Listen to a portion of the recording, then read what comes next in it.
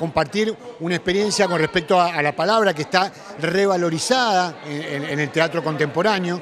Pasó un momento de desvalorización y ahora la palabra ha vuelto a posicionarse, pero no en su posición de transmisora de ideas, sino la palabra como materialidad de la escena, como constructora de teatralidad. Y de eso vamos a hablar, de cómo la palabra y la voluntad de la palabra se construyen en la escena para que la escena sea en realidad tenga su peso y su especificidad. La palabra teatral es una palabra muy específica, porque no es la palabra igual a la cotidiana y tampoco necesariamente la literaria.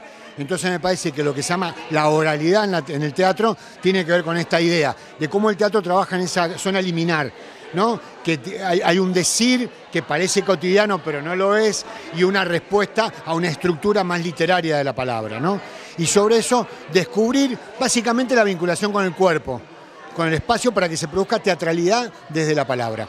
Recién decías que el teatro era algo más que una reproducción, que una representación de un texto, que era un juego un poco más complejo.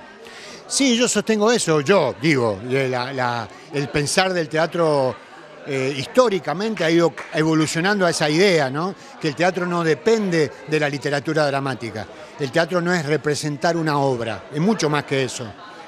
El teatro es un espacio específico, un acontecimiento, básicamente, si lo pensamos en términos de acontecimiento presente, de encuentro, y en su producción es mucho más que dar cuenta de lo que quiere decir otro, es lo que decimos todos.